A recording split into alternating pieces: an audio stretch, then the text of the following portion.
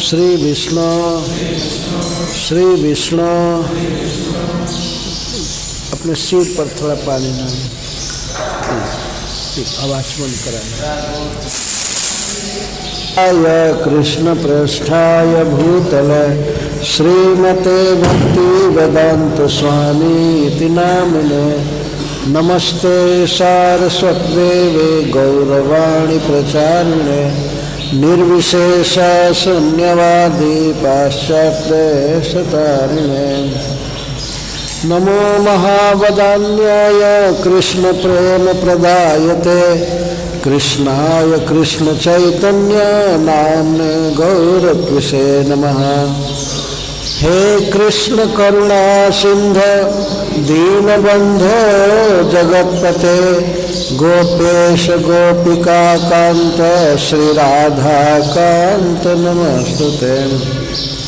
तप्त कांचन गौरांगी श्रीराधे वृंदावनेश्वरी वृषभानुसुते देवी प्रणमामि हरि प्रिय श्रीचैतन्यमनोभीष्टं स्थापितं येन भूतले सोऽयं रूपः कदा मह्यं ददाति स्वपदान्तिकम् वाञ्छाकल्पतरुभ्यश्च, कृपासिन्धुभ्य एव च पावनेभ्यो, वैष्णवेभ्यो नमो नमः।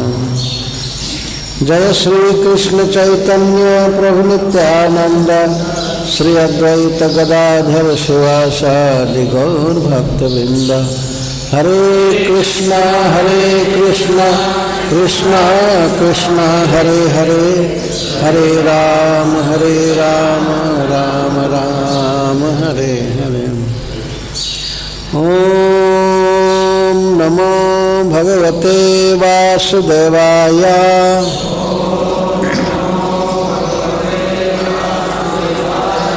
ओम नमो भगवते वासुदेवाय।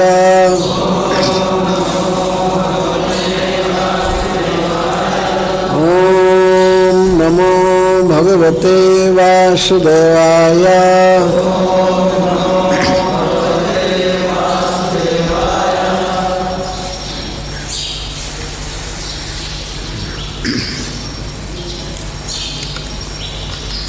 जय श्रील प्रभुपाद।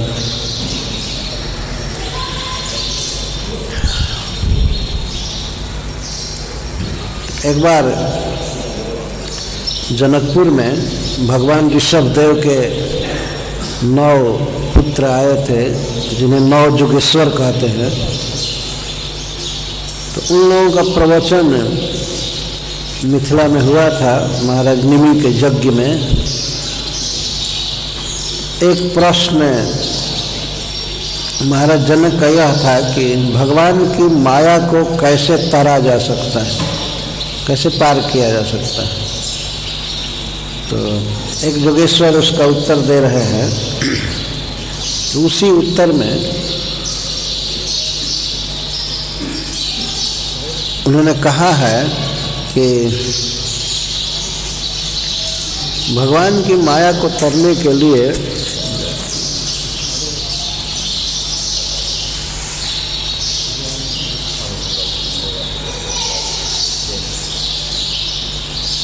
गुरु की शरण लेनी चाहिए। तस्मात गुरु प्रपद्येत जिज्ञासु श्रेय उत्तमम शाब्दे परे च निष्णातम शाब्दे परे च निष्णातम श्लोक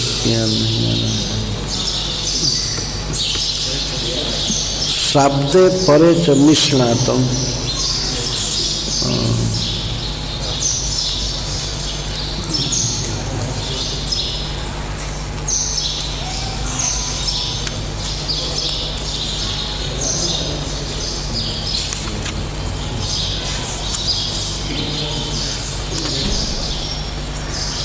ये हमेशा याद रहता है अकस्मात भूल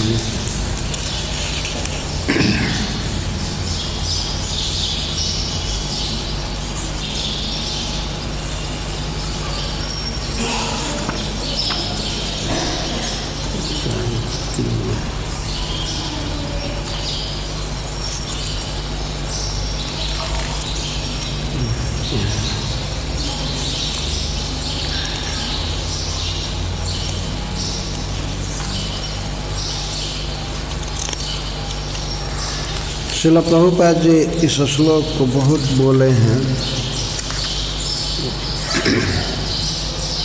तस्मात गुरु प्रपद्य तो जिज्ञासु श्रेय उत्तम शाब्दे परे च निष्णातम ब्रह्मणी उपसमाश्रय जब किसी व्यक्ति को ये पता चल जाए, इतना ज्ञान हो जाए कि वास्तव में यह संसार नश्वर है और जो भी संसार के संबंध हैं, वे भी क्षणभंगुर हैं। दुनिया में पैसा कमाना, घर बांधना और सब करना ठीक है, व्यवहार चलाने के लिए, लेकिन यही जीवन का लक्ष्य नहीं है। जीवन का लक्ष्य है भगवान श्री कृष्ण का चरण कमल पाना। तो जब इतनी लालसा हो जाए किसी को कि भगवान को हमें पाना है उनके धाम जाना है तो तस्मत गुरु पर पद देता उस व्यक्ति के लिए गुरु की आवश्यकता होती है, जिसके डायरेक्शन में वह भगवान श्री कृष्ण को पा सके। कृष्ण प्राप्ति है जहाँ है तस्मत गुरु प्रपद देता गुरु कैसा होना चाहिए? इसमें जोगेश्वर जी कहते हैं कि शब्द परे च निष्णातम। शब्द ब्रह्म में और पर ब्रह्म में और निष्णात होना चाहिए। निष्णात स्नात का अर्थ होता है स्नान किया हुआ।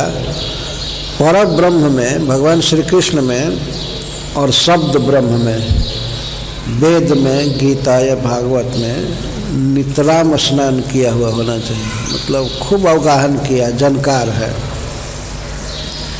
ऐसा गुरु करना चाहिए उपसमाश्रयम और जो शांति का, उपशम का आश्रय होता है। बहुत शांत प्रकृति का काम, क्रोध, लोभ आदि से वर्जित उग्र स्वभाव नहीं तो ऐसा गुरु करना चाहिए। और गुरु के पास भगवान के भक्ति की शिक्षा लेनी चाहिए। उसके बाद कई आइटम बताते हैं। कभी कभी ऐसा प्रश्न होता है कि भाई दीक्षा की क्या आवश्यकता है? भगवान का नाम तो व्यक्ति ऐसे भी जप सकता है, भगवान की पूजा कर सकता है। दीक्षा क्या ज़रूरी है? दीक्षा की बहुत आवश्यकता है, इस ग्रंथ में श्रीमद् भागवत में ये बात कही गई है। देखिए इस संसार में प्रत्येक व्यक्ति कुछ न कुछ संबंध में जुड़ा है। और जबकि ये संबंध है, नित्य नहीं है, झूठा संबंध है। और झूठे संबंध को भी स्थापित करके वह जीवन भर निर्वाह कर लेता है, कर देखा जाता है। इस संसार में कोई किसी की पत्नी नहीं है। लेकिन मान लिया जाता है, यज्ञ करके कुछ ब्राह्मण कह देते हैं और हाथ से हाथ पकड़वा देते हैं। उस इतना ही कनेक्शन है, पर जीवन भर अब छुड़ाते रहिए नहीं छूटेगा। कितना भी उपदेश करे, कुछ भी करे। तो ये झूठा संबंध है वास्तव में। पहले संबंध नहीं था, और उसके बाद भी नहीं रहेगा, इस जीवन के बाद। कुछ लोगों का तो इस जीवन में ही तलाक हो जाता है। डिवोर्स हो जाता है। मरने के बाद तो छूटेगा ही, वो तो निश्चित है।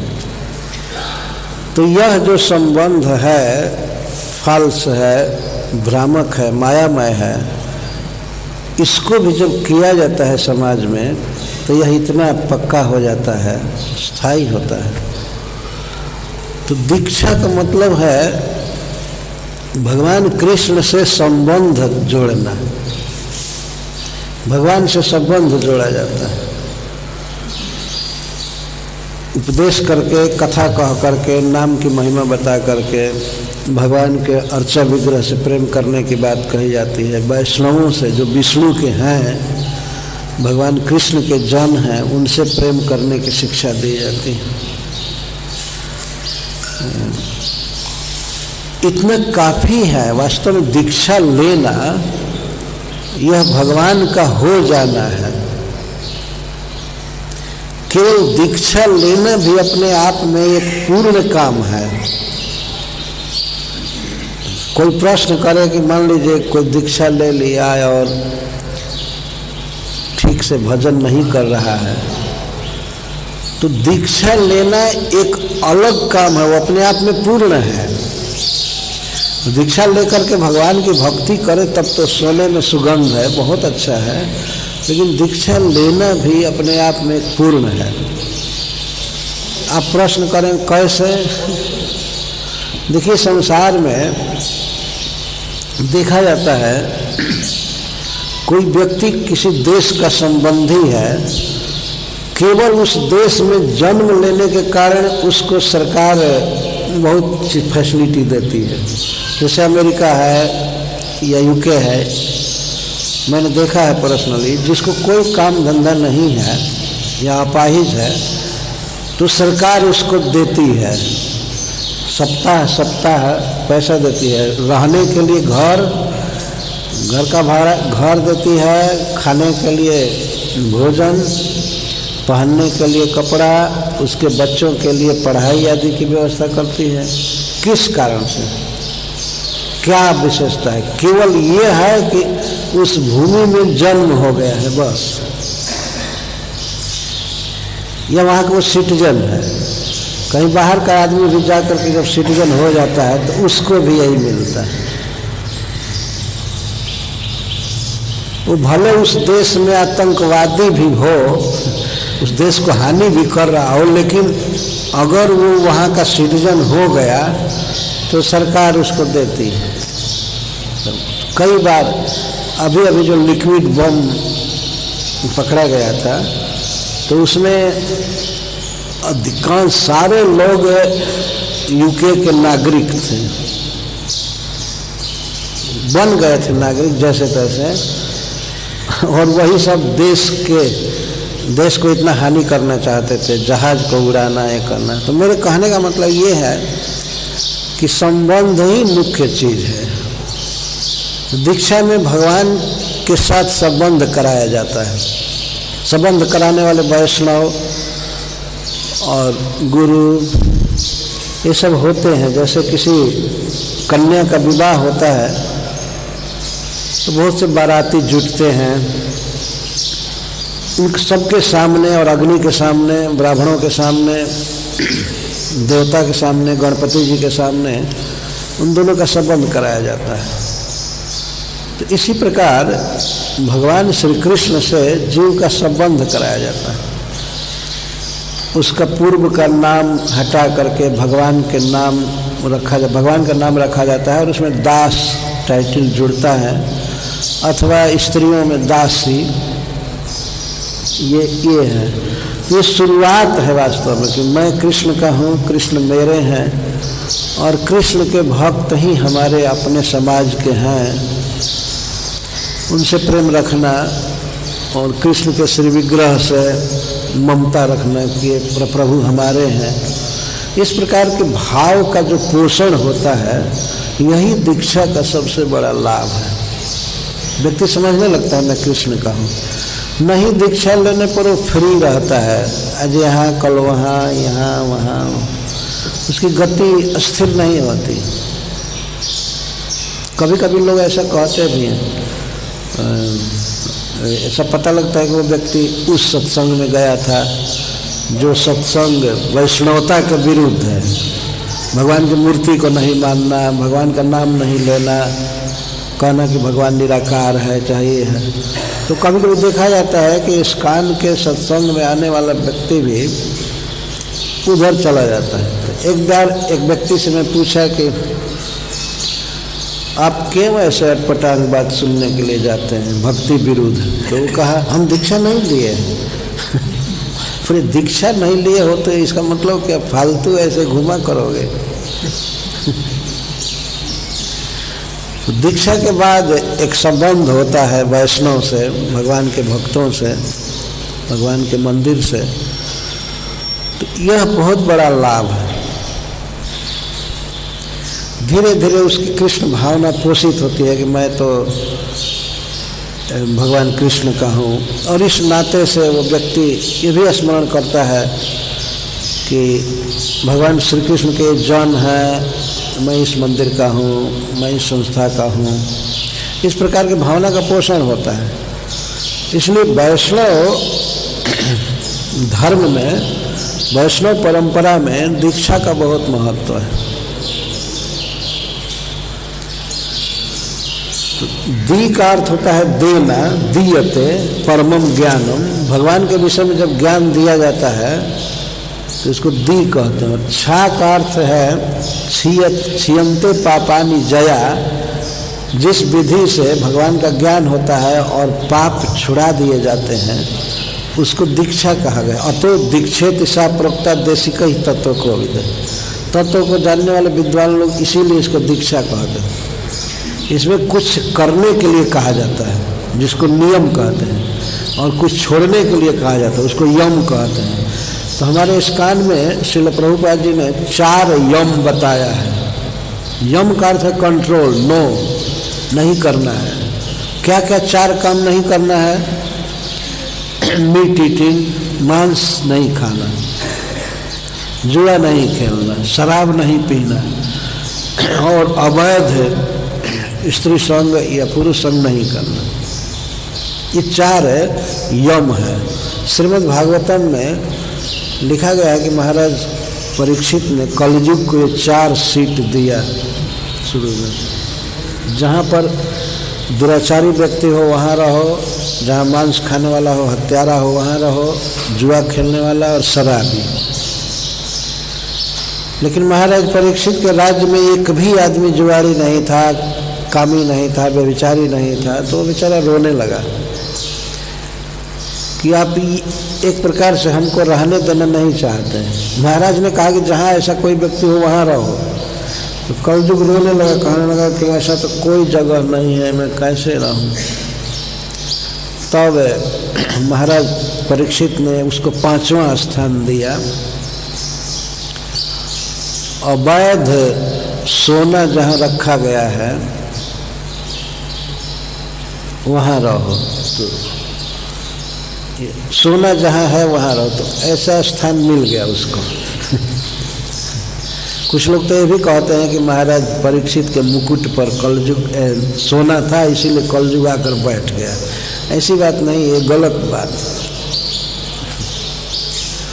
महाराज के कपार पर कलजुग नहीं चढ़ा था वो जो ब्राह्मण था सुना कि मेरे पिता के गले में सांप डाल दिया तो उस ब्राह्मण के बालक के मस्तक पर कलजुग चढ़ा था जो परीक्षित महाराज को हटाना चाहता था। तो उस ब्राह्मण ने साप दिया परीक्षित महाराज को सात दिन के अंदर मरने के लिए। इस प्रकार तो जो शिल प्रभुपाद जी ने चार नियम बताया है, जिसे इस काल में सभी लोग जानते हैं। सीधा पूछा जाए, चार नियम क्या है? तो यही बताया जाता है no meat eating no gambling no intoxication और अवैध संबंध। तो इस तरह से ये चार नियम का पालन करना, वैष्णव होने पर, दीक्षा लेने पर, ये बहुत ज़रूरी है। ये जो रिस्ट्रिक्शन है कि ये चीज़ नहीं करना है तो भूल करके भी नहीं करना है। शिल प्रभुपाद जी के द्वारा प्रचार जो हुआ सारे विश्व में, यही है चार पिलर इस कृष्ण भावना का। संसार में कोई संस्था, कहीं कोई भी इन चार चीज़ों को नहीं बताता है। कहीं नहीं। ये मिलेच जवन सब मांस खाने वाले ही हैं, भरे पड़े हैं दुनिया में सब।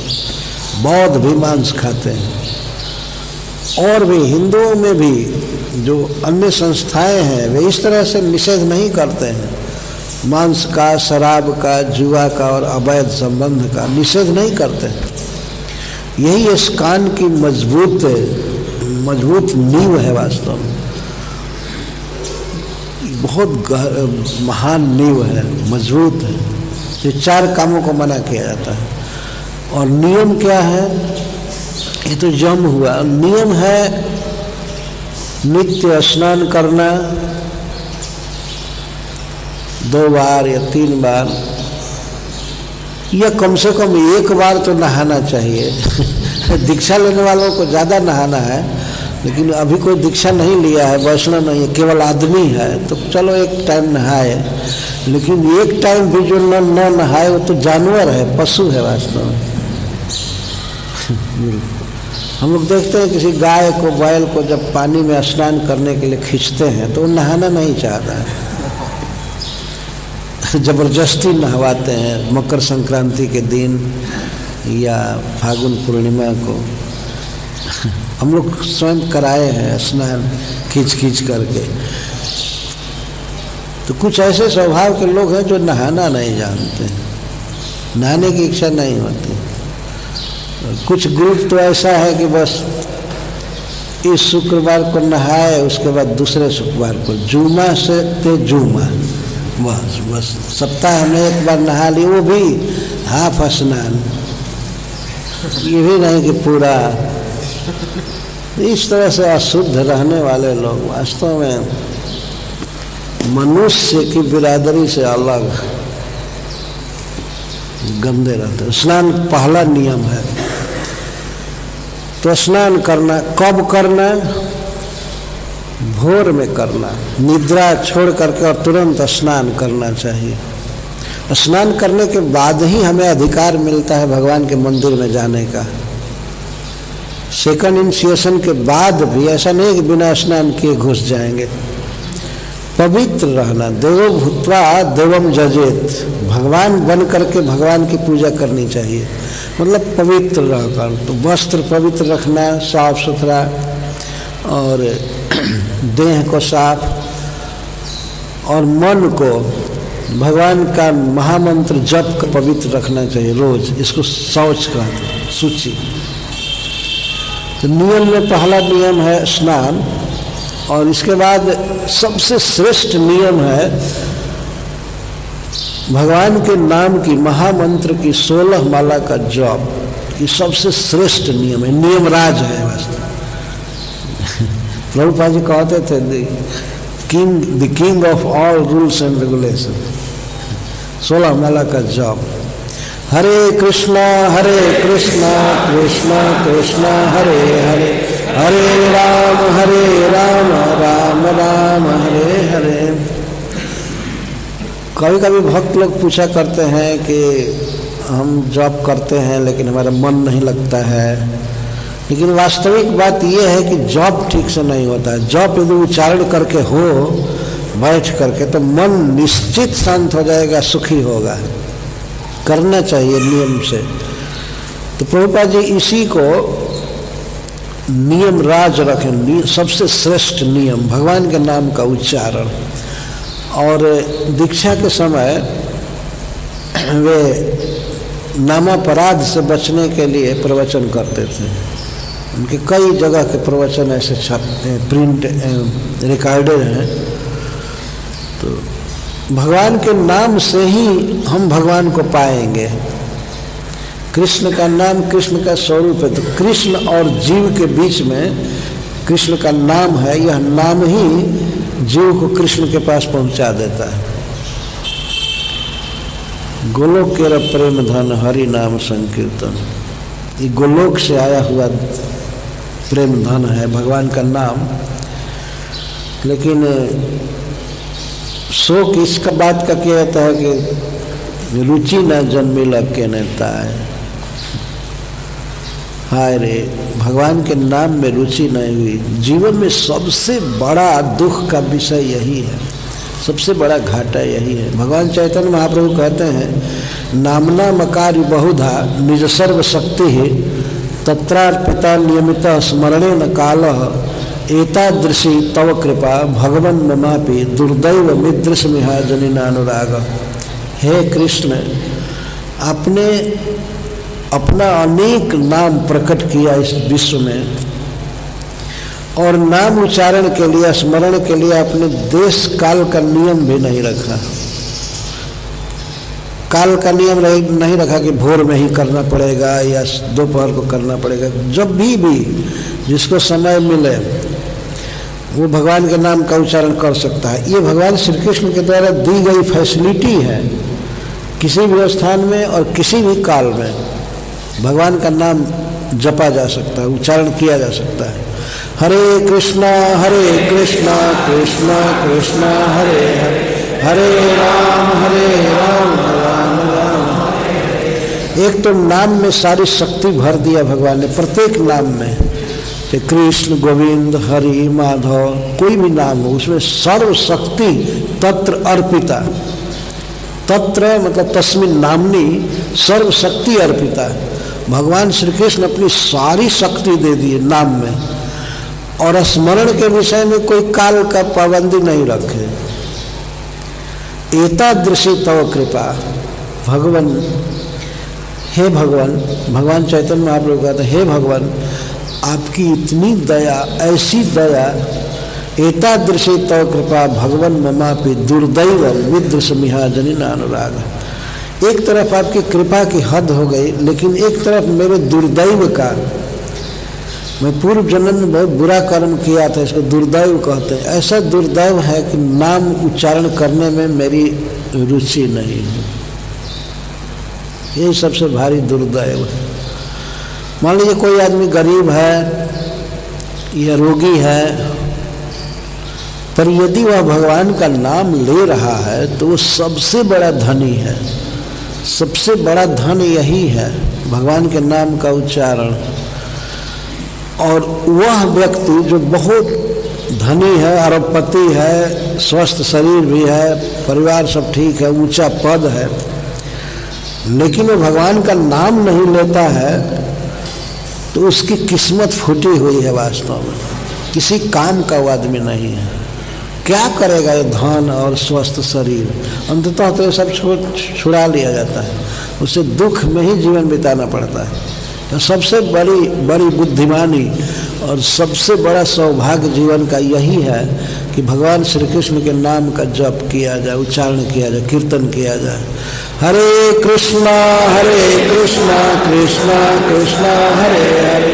हरे राम हरे राम तो शिल प्रभुपाद नामापराध से बचने के लिए कहते थे, यदि अपराध से बच करके भगवान का नाम लिया जाता है तो वह नाम तत्काल ही भगवान कृष्ण के प्रेम को दे देता है। तो नाम अपराध दस है। मंदिरों में भक्त लोग हमेशा पढ़ते रहते हैं, जानते हैं। फिर भी शिल प्रभुपाद जी के परंपरा के अनुसार हम थोड़ी देर के लिए नाम अपराध से बचने के लिए प्रेरणा कर रहे हैं। तो पहला अपराध है शताम निंदनम। वैष्णवों की भक्तों की निंदा करना, ये पहला अपराध। अपराध का क्या मतलब होता है? संस्कृत में अपराध का अर्थ होता है, राध माने आराधना, खुशी।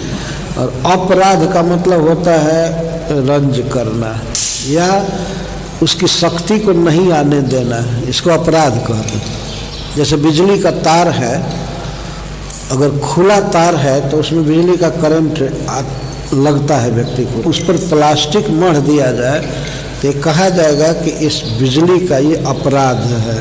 बिजली की शक्ति को आने नहीं दिया जा रहा। है तो भगवान के नाम में सर्व शक्ति है अपार शक्ति है पाप नाश करने की और भगवान के, के प्रेम को देने की। लेकिन जब व्यक्ति भगवान के भक्तों की निंदा करता है और फिर कुछ जप भी करता है कीर्तन भी करता है तो ये नाम उसको अपना फल नहीं दे पाता है।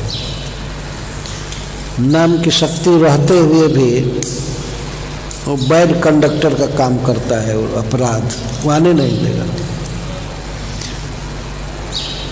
प्लास्टिक के कवर में मान लीजिए तार है तो तार पर आदमी सो भी जाए, तब भी करंट नहीं मारेगा। है ना? क्योंकि उसकी शक्ति को रोक रहा है। कोई व्यक्ति नाम जप करता है, लेकिन भगवान कृष्ण के भक्तों की निंदा करता है तो यह अपराध है। कोई भी भक्त जो विष्णु को समर्पण कर चुका है, वह निंदनीय नहीं है। वही व्यक्ति वास्तव में सबसे सराहनीय है, श्लाघ्य है। कहीं पर उसका जन्म हुआ हो, किसी भी जाति में, किसी भी धर्म में, लेकिन वो भगवान कृष्ण को समर्पण कर दिया तो उसके दोषों को नहीं देखना चाहिए। रूप गोस्वामी पाद जो उदाहरण देते हैं, जैसे गंगा जी की निर्मल धारा है और उस धारा में यदि कोई गट्टर का पानी गट्टर नाला या दूषित नदियाँ, जैसे कर्मनाशा नदी, अगर वे गंगा जी में मिल जाते हैं तो अब इसके बाद कोई नहीं कहेगा कि, अरे इसमें तो गंदा नाला का भी पानी आता है गंगा में। गंगा से मिलते ही वो गंगा जी हो जाता है। तो ये है भगवान विष्णु का अद्भुत प्रभाव।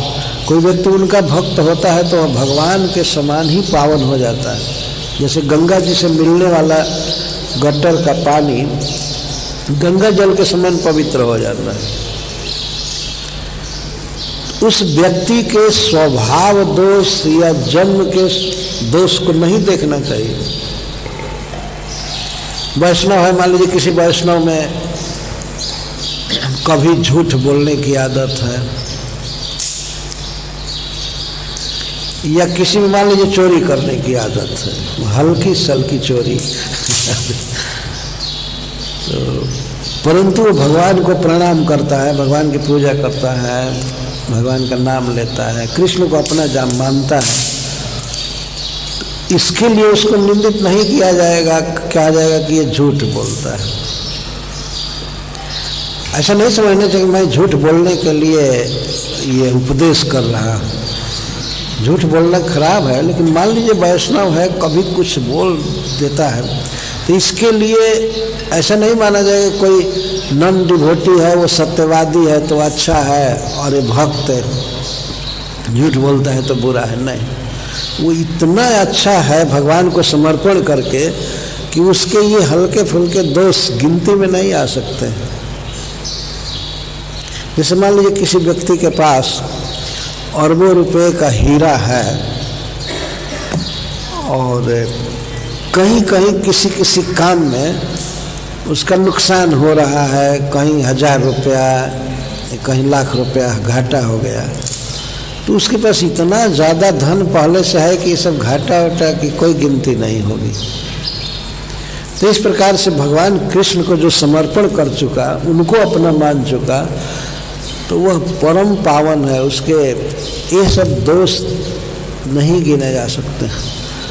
एक बार लॉस एंजलिस में शिल प्रभुपाद जी थे तो बुक डिस्ट्रीब्यूशन के लिए कई भक्तों को प्रेरणा कर रहे थे, भाई बुक डिस्ट्रीब्यूट करो बुक डिस्ट्रीब्यूट करो, ये बहुत बड़ी सेवा है। तो कुछ भक्त एयरपोर्ट पर बुक डिस्ट्रीब्यूशन करते थे। अब तो आतंकवादियों के कारण एयरपोर्ट में घुस ही नहीं सकते। पहले सब जगह भक्त बुक डिस्ट्रीब्यूशन करते थे। तो बुक डिस्ट्रीब्यूशन करने में लेट हो जाता तो कभी रात को आते थे तो मंगला आरती में भाग नहीं ले पाते थे। और किसी किसी का ऐसा हुआ कि सोलह माला जप भी पूरा नहीं हुआ। कम रह गया। लेकिन भक्त आते थे बहुत लेट बुक डिविजन करके। कुछ लोग कहे प्रभुपाद जी से, कि प्रभुपाद जी, उसका जॉब पूरा नहीं हुआ और मंगला दिन डांट दिया, चुप रहो। कितना बड़ा काम करके आया है, निंदा मत करो। तब शिला प्रभुपाद जी ने इस नामापराध को इस तरह से व्याख्यात किया। उन भक्तों की निंदा करना, जो अपना जीवन भगवान के नाम की महिमा के प्रचार में लगा चुके देखिए प्रभुपाद जी प्रैक्टिकल दिए दिशा इसके लिए निंदा नहीं की जा सकती है कि, ओ, वो तो जब पूरा नहीं किया। मान लीजिए किसी विशेष परिस्थिति में नहीं पूरा किया। तो इसके लिए वो निंदनीय नहीं है। वो भगवान की सेवा कर रहा है, काम कर रहा है। बुक डिस्कशन कर रहा है। तो जो बुक पढ़ेगा, वो कृष्ण भावना भावित होगा। इसलिए प्रभुपा जी ने अपने व्याख्या में सब समझाया। दूसरा नाम अपराध है। शिव ब्रह्मा आदि के नाम को भगवान के नाम के समान समझना या स्वतंत्र समझना, ये दूसरा नाम अपराध। कभी कभी कोई कोई भक्त भगवान के नाम का तो आदर करते हैं, लेकिन शिव जी का भी अपमान करते हैं। शिव जी से प्रेम नहीं करते। तो इसीलिए शिल प्रभुपा जी ने इंडिपेंडेंट का इंडिपेंडेंट सोचना भी अपराध है। भगवान शिव का कोई नाम नहीं है, विष्णु के नाम में से ही कुछ नाम उनको दिया गया है। लेकिन, भगवान शिव और विष्णु को बिल्कुल एक ही समझ लेना, यह भी एक अपराध है। भगवान भगवान है, देवता सब देवता है, आदर रखना चाहिए, लेकिन दोनों को बिल्कुल एक समझ लेना उचित नहीं है। तो तीसरा अपराध है गुरु अवज्ञा। गुरु की अवज्ञा करना, उसका अपमान करना निगलेक्ट करना और गुरु जो खास करके आज्ञा दिया है भक्ति में बढ़ने के लिए, उन आज्ञाओं को डिसअबे करना नहीं मानना। जो डायरेक्ट आज्ञा हुई हो तो उसको ज़रूर पालन करना चाहिए। अन्यथा व्यक्ति जब करे, कुछ भी करे तो उसे फ़ायदा नहीं होता है। चौथा नाम अपराध है श्रुति शास्त्र निंदनम। जिन शास्त्रों में भगवान की लीलाएँ, नाम, ये सब दिए गए हैं, उन ग्रंथों को न मानना, निंदा करना। ये सब ब्राह्मणों ने लिख दिया है, ये किया है, वो किया है, इसमें तथ्य नहीं है। वास्तव में इस संसार में सबसे बड़ा धन जो भगवान ने दिया है, वो है शास्त्र। श्रीमद् भागवतम, श्रीमद् भगवद गीता, ये जो शास्त्र हैं, यही भगवान का सबसे बड़ा दान है। यही सत्य है, जो हमारे वैदिक ग्रंथ है, यही सत्य है। बाकी और सब कल्पना है। और दुनिया में जो ग्रंथ सुने जाते हैं, यह ग्रंथ, वह ग्रंथ। ये सब मनुष्यों की कल्पना है, लेकिन वैदिक ग्रंथ जो है वे आर्ष ग्रंथ हैं, भगवान के द्वारा दिए गए हैं। अतः श्रुति शास्त्र की निंदा नहीं करनी चाहिए, आदर करना चाहिए। हमारे हित के लिए भगवान ने इन शास्त्रों को दिया है। जैसे कहा जाता है, प्रभुपाद जी के ने हमको दिया है, मानव जाति को प्रभुपाद जी ने बहुत दिया लेकिन सबसे बेस्ट दान क्या दिया प्रभुपाद जी ने?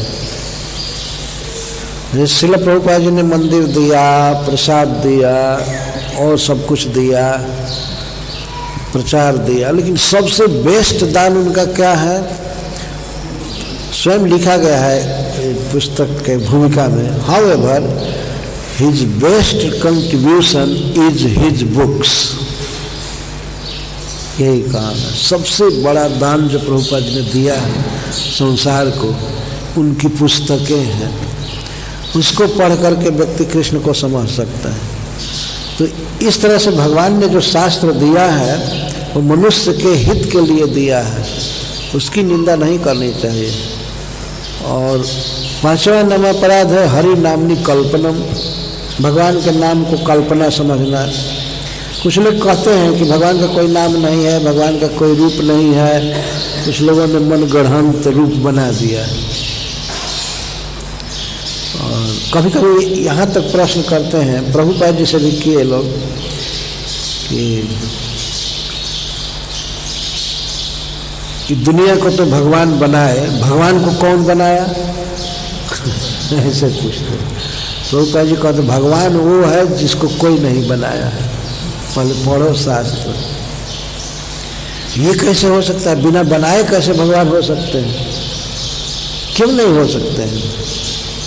मान लीजिए, आज कोई बच्चा, लड़का है तो पूछा जाए, तुमको कौन जन्म दिया? तो वो कहता है, हमारे पिताजी। पिताजी से पूछा जाए, तुमको कौन जन्म दिया? तो वो कहेंगे, हमारे पिताजी। हमारे पिताजी, इस तरह से पीछे ढकलते जाएँगे परंपरा को, भाई उसका बाप ओ, उसका बाप ओ, उसका बाप ओ तो कोई तो ज़रूर बचना चाहिए जो स्वयं बाप है है ना? स्वयं है। ये तो कॉमन सेंस से समझा जा सकता है।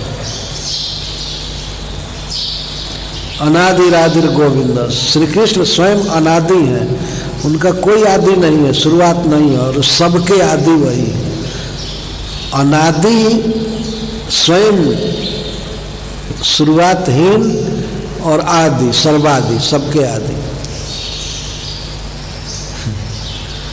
तो इस प्रकार से जैसे भगवान नित्य हैं, भगवान का रूप नित्य है, वैसे ही श्री भगवान का नाम भी नित्य है। ऐसा नहीं हुआ कि बाद में नाम मिला उनको। गर्गाचार्य ने नाम रखा, लेकिन गर्गाचार्य जी के नाम रखने के स्टाइल आप पढ़ेंगे, भागवत में कहते हैं, इस बच्चे के अनेक नाम हैं। ऐसे बोलते हैं। हे नंद महाराज जी आपका सांवला बच्चा है ना? इसके अनेक नाम हैं। और ये तीनों युगों में तीन रंग से प्रकट होता है। इदानिम कृष्णताम गत, इस समय कृष्ण रंग का है, काला है, श्याम है, लेकिन और युगों में ये विविध रंग का था। कलयुग में ये पीला वर्ण का आता है। तो चैतन्य महाप्रभु के विषय में कह रहे हैं। तो ये नाम है, आप ध्यान से पढ़ेंगे, उसमें साफ़ वर्तमान क्रिया का प्रयोग है। ऐसा नहीं कहा गया इसके बहुत से नाम थे या नाम होंगे। नाम है, ऐसा वो कह रहे हैं। बहुनी संति नामानी रूपाणी च सुतस्य ते तान्यहम वेद सर्वाणी न तान्यहम वेद सर्वाणी। न जना। गुण कर्मानुरूपाणी तान्यहम वेद नो जना। गर्गाचार्य कहते हैं कि इस बच्चे के बहुत नाम हैं, गुण कर्म के अनुसार। उनको मैं भी नहीं जानता हूँ और दुनिया के लोग भी नहीं जानते हैं। इतना नाम है कृष्ण का कि हमको पता नहीं है, लेकिन नंद बाबा के लिए कहते हैं, नंद बाबा समझे कि तानी अहम वेद, मैं जानता हूँ, लेकिन ये पब्लिक नहीं जानती। गर्गाचार्य जी अपने को विद्वान सिद्ध कर रहे हैं नंद बाबा की दृष्टि में। तो कहते मैं जानता हूँ, लेकिन और लोग नहीं जानते इससे नंद बाबा खुश होंगे तो श्री कृष्ण के नाम, रूप चरित्र सब नित्य है, नित्य। गर्गाचार्य जी के मुख पर वो प्रकट हुआ। जैसे भगवान देवकी के, जसोदा जी के गर्भ से प्रकट हुए तो उनका नाम भी गर्गाचार्य जी और इंद्र के मुख से प्रकट हुआ। अनेक नाम। इंद्र ने गोविंद नाम रखा भगवान का, जब गोविंदाभिषेक किए। वास्तविक गायों के पालक कृष्ण और गर्गाचार्य ने तीन नाम रखा, हरि, कृष्ण और वासुदेव। लेकिन वो नाम नित्य है। इसी तरह से भगवान का नाम नित्य है, सत्य है, सनातन है, वह कल्पना नहीं है। यदि कोई व्यक्ति ये सोचता है कि भगवान के नाम की कल्पना की गई है तो वह अपराध कर रहा है। इस अपराध से बचना चाहिए। छठा नाम अपराध है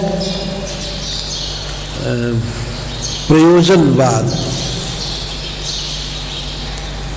प्रयोजनवाद का ये अर्थ है, कोई व्यक्ति ये सोचे कि भगवान के नाम में वास्तव में इतनी शक्ति नहीं है, लेकिन जप करवाने के लिए, कीर्तन करवाने के लिए इसकी महिमा को लोग बढ़ा करके कहें। इसको अर्थवाद कहते हैं, ये प्रयोजनवाद।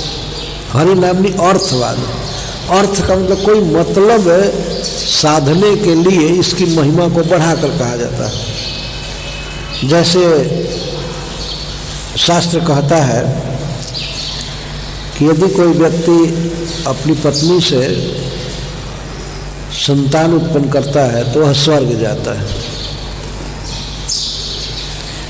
इसको अर्थवाद कहते हैं। वास्तव में केवल संतान उत्पन्न करने से ही वो स्वर्ग नहीं जाएगा। परंतु वह व्यभिचार न करे, अपनी पत्नी से संतुष्ट रहे, इस अर्थ की पूर्ति के लिए ही इस संतान उत्पत्ति की महिमा को बढ़ा करके कहा लेकिन भगवान के नाम में जितनी शक्ति है, उतना तो कोई कह ही नहीं सकता है, बढ़ा करके क्या कहेगा। इसलिए भगवान के नाम में अर्थवाद नहीं करना चाहिए। इसकी जो महिमा शास्त्र कहता है यथार्थ है सत्य है। कभी कभी कुछ भक्त भी चकित हो जाते हैं सुनने पर कि एक नामाभास कोटि कोटि जन्मों के पाप को खत्म कर देता है। नामाभास? नामाभास मतलब जैसे अजामिल अपने बेटा का नाम लिया। या नामाभास का मतलब होता है किसी वस्तु के बदले उसका नाम न बोलकर भगवान का नाम बोला जाए। जैसे साधु लोग राम रस कहते हैं, नमक को। राम रस कहते हैं।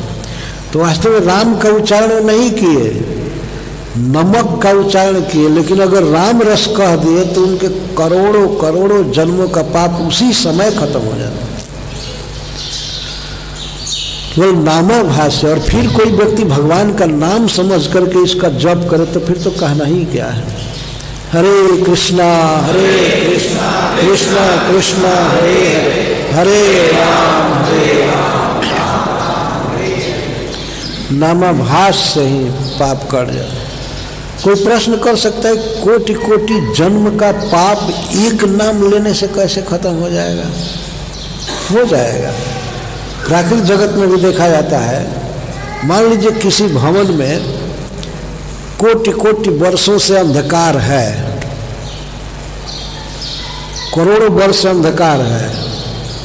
लेकिन उस घर में अगर बिजली वायरिंग करके पहुंचाई जाए और स्विच ऑन किया जाए, बहुत तगड़ा बल्ब हो तो क्या अंधकार कभी कहेगा कि मैं करोड़ वर्ष से यहाँ रहा हूँ, मैं धीरे धीरे जाऊँगा? मैं अभी नहीं भागूँगा। नहीं, जब अंधकार विरोधी तत्व आ गया, प्रकाश तो स्विच ऑन करते ही या दीपक को लाते ही अंधकार को भागना होगा। वो तो चाहे कितने वर्षों से रह रहा हो। इस तरह से भगवान का नाम जब जिहवा पर या कान में आता है तो करोड़ों जन्मों का पाप उसी समय नष्ट हो जाता है। तो ये भगवान के नाम में अर्थवाद हो ही नहीं सकता। इसकी महिमा को कोई बढ़ा करके कहाँ से करेगा? यथार्थ महिमा तो कह ही नहीं पाएगा। तो इस प्रकार भगवान के नाम में अर्थवाद नहीं करना चाहिए। जो सातवां अपराध है, नाम के बल पर पाप करना। कुछ ऐसे ढीठ भक्त होते हैं सोचते भगवान का नाम ले ही रहे हैं। एक नाम से ही सारा पाप कट जाता है और बाकी नाम से प्रेम मिलेगा भगवान का। तो पाप भी करते हैं कभी कभी और नाम भी लेते हैं। तो होता क्या है कि नाम को पाप में सहायक बनाते हैं। जो नाम पाप काटने वाला है, उसी के बल पर वो निशंक पाप करते हैं। ये नाम अपराध नाम को पाप में सहायक नहीं बनाना चाहिए। नाम तो पाप काट देता है, निश्चित, लेकिन पाप कंटिन्यूस चलता रहे तो फिर नाम उस पाप को नहीं काट पाता है। नाम के बल पर पाप नहीं करना चाहिए। अच्छा ना, आठवां नाम अपराध है। वेद शास्त्रों में जो शुभ सकाम क्रियाओं का वर्णन किया गया है, जैसे यज्ञ, दान तप ब्रह्मचर्य वेद पाठ तीर्थ स्नान तो कभी कभी लोग ये सोचते हैं कि जैसे अन्य शुभ सकाम क्रियाओं का वर्णन वेदों में किया गया है, उसी तरह से नाम संकीर्तन भी एक शुभ क्रिया है। ऐसा सोचना ये पाप है, अपराध है। उन सब क्रियाओं के साथ नाम उच्चारण की कोई तुलना नहीं की जा सकती है। एक बार कृष्ण के नाम का उच्चारण करोड़ों करोड़ों यज्ञ से भी बढ़ करके है, करोड़ों तीर्थों से भी बढ़ करके है, वेदाध्ययन से बढ़ करके है। इसकी कोई तुलना ही नहीं है। जैसे दुनिया में हज़ारों दीपक जलाया जाए, या लाखों, करोड़ों दीपक जलाया जाए छोटा छोटा या बड़ा बड़ा और चंद्रमा भी उगे पूरे शक्ति के साथ, सारे तारे भी उगे और जंगल में, पहाड़ में दवानल लगा दिया जाए कितना भी प्रकाश निकाले लेंगे, निकालेंगे, लेकिन सूर्य से तुलना नहीं की जा सकती। बिना सूर्य के उगले अंजोर नहीं हो। सूर्य के उगे बिना अंजोर नहीं होता है। तो भगवान का नाम सूर्य की तरह है। और ये शुभ सकाम क्रियाएँ, ये टिमटिमाते दीपक की तरह है। छोटे छोटे जैसे ढीवरी रखते थे, दीपक रखते थे पहले, किरासन तेल में जलाते थे। किरासन के तेल तो ये ये जो शुभ क्रियाएँ हैं, जिनका वर्णन वेदों में किया गया है, ये भगवान नाम सूर्य के आगे ये दीपक के समान है। कितना प्रकाश देंगे? एक रूम का अंधकार भी नष्ट करना मुश्किल हो जाता है उनके लिए। लेकिन सूर्य सूर्य एक जगह पर लोकेटेड है, पर पूरे विश्व में प्रकाश जा रहा है। यह है भगवान का नाम। एक बार शिल प्रभुपा जी मायापुर के चक्र बिल्डिंग के छत पर टहल रहे थे तो सूर्य उग रहे थे। तो उगते हुए सूर्य को शिल प्रभुपाद अपने छड़ी से वेद से दिखा करके कहते हैं भक्तों को, ये छपी हुई है बात। पर देखो, जब तक सूर्य आसमान में रहेगा, तब तक अंधकार का कोई प्रश्न नहीं। इसी प्रकार जब तक भगवान का नाम तुम्हारे जीवा पर रहेगा, जीवन में अज्ञान और दुख का कोई सवाल नहीं। सब नष्ट हो जाएगा। हरे कृष्णा हरे कृष्णा कृष्णा कृष्णा, हरे हरे हरे राम हरे राम राम राम। तो कोई व्यक्ति यदि कह दे कि जैसे अन्य दीपक जलते हैं, बिजली के बल्ब जलते हैं, वैसे ही एक थोड़ा बड़ा दीपक है, लेकिन वो भी जलता है। ऐसा कहना सूर्य का अपराध है, ये कोई दीपक नहीं है साधारण। तो इसी तरह से भगवान के नाम का उच्चारण इतना बलवान है, इतना श्रेष्ठ है कि इसके साथ किसी की तुलना नहीं की जा सकती। अगर कोई तुलना करता है तो वह महाअपराधी है। कहाँ भगवान का नाम दिव्य और कहाँ ये सब क्रियाएँ ये जीव को पवित्र करती हैं, लेकिन पूर्ण पवित्र कभी नहीं कर सकती है क्रियाएँ। पर भगवान का नाम तो एक बार के उच्चारण से पवित्र कर देता है, या एक बार के श्रवण से। श्रवण जन्नाम श्रुति मात्रेण पुमान भवती निर्मल। दुर्वासा जी कहते हैं, महाराज अम्बरीश भगवान का नाम ऐसा पावन है। नहीं, भगवान से ही कहते हैं कि आपका नाम लेने पर नारकी जीव भी तुरंत पवित्र हो जाता है। हे प्रभु, आप हमें शरण में रखिए। तो भक्त का अपराध किए थे अम्बरीश महाराज। तो इस प्रकार भगवान के नाम की महिमा है और नौवा अपराध है अश्रद्धालु, श्रद्धाहीन और निंदक। और किसी मत विशेष में फंसे हुए जड़ व्यक्ति को नाम की महिमा का उपदेश करना। कुछ ऐसे लोग संसार में होते हैं जो नाम की महिमा सुनना ही नहीं चाहते। कहते हटो हटो, बस हम। तो उसके सामने नाम की महिमा नहीं सुनानी चाहिए।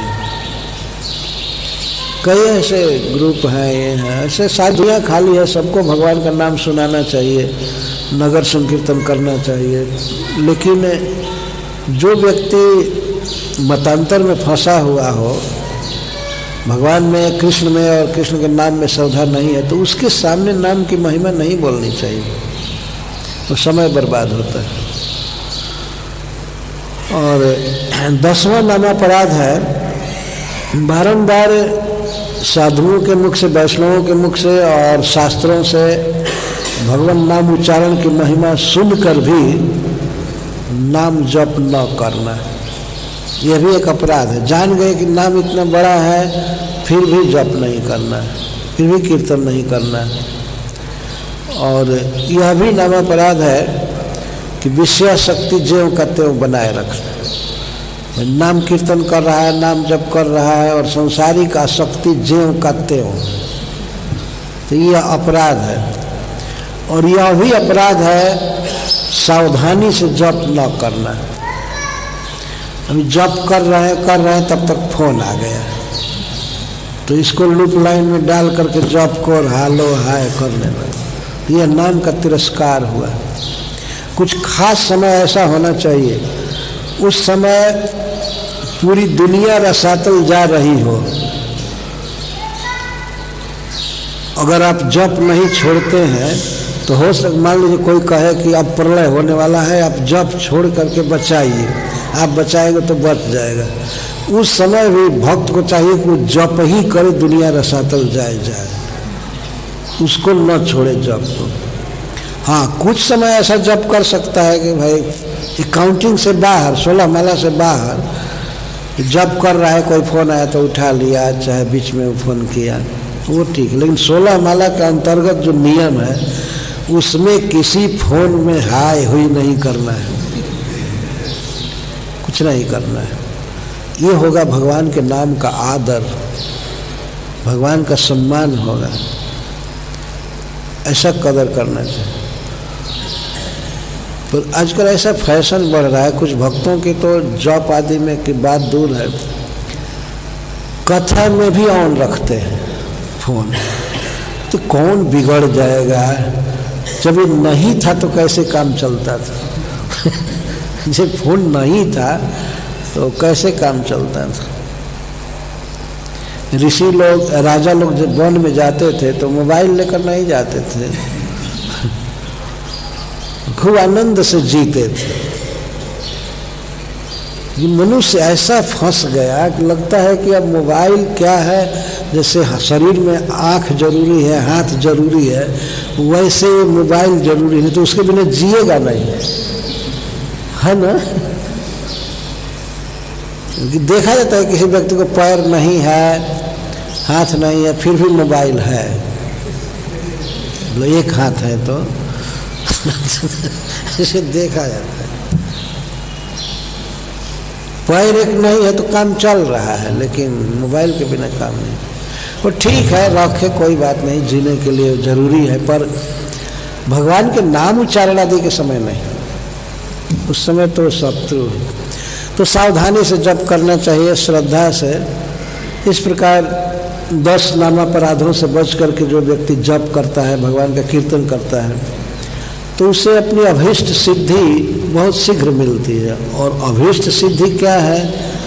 वो है भगवान श्री कृष्ण का प्रेम। इसलिए प्रभुपा जी बताते हैं कि अपराध भक्तों से होते ही रहते हैं।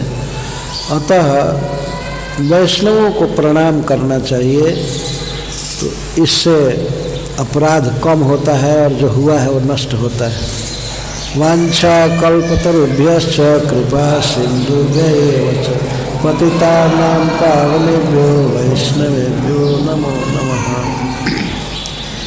तो आज भगवान कृष्ण से संबंध हो रहा है। यह भी निर्विवाद है कि श्री श्री राधा दामोदर जी से, जगन्नाथ जी से, गौर निताई से संबंध हो रहा है।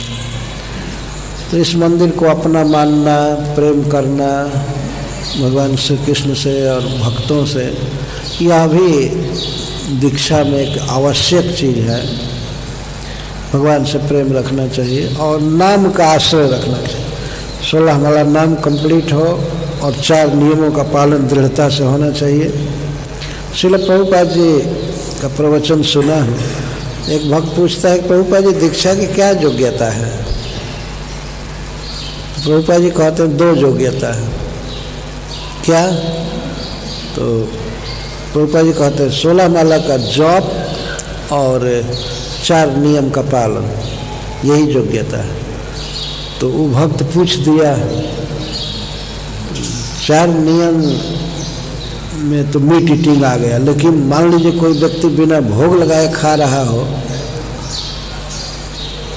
तब तो इसको भी बताना चाहिए ना कि भोग लगा करके खाए। तो प्रभुपा जी कहते हैं, हंस करके कहे, ये गधा को सिखाना पड़ेगा। आदमी को नहीं। आदमी तो अपने आप भगवान को भोग लगा करके खाएगा। तो चार तो पूछता है तो चार नियम क्यों बताया जाता है? तो प्रभुपा जी कहे, ये पशु को आदमी बनाने के लिए। आदमी बनाने के लिए चार नियम बताया जाता है। बहुत ही उत्कृष्ट ढंग से शिल प्रभुपाद समझाते हैं। हम लोगों का बहुत बड़ा भाग्य है कि हम लोग चैतन्य महाप्रभु की परंपरा में हैं, कृष्ण की परंपरा में हैं। सब कुछ मिला है। शिल प्रभुपा जी का द्वारा दिया हुआ है, साहित्य है। और भगवान के स्वरूप भी साक्षात दिखाए जाते हैं। इतना डेकोरेशन करके, इतना सुंदर स्वरूप। भगवान का नाम, भगवान के भक्त, भगवान का प्रसाद। तो अपने इस एसेट को, अपने इस धन को समृद्ध रखना चाहिए। हमेशा भगवान का नाम जपना चाहिए। यही दीक्षा के समय मुख्य बात कही जाती है। भगवान का नाम खूब जपना चाहिए। हरे कृष्ण जय श्री प्रभुपाद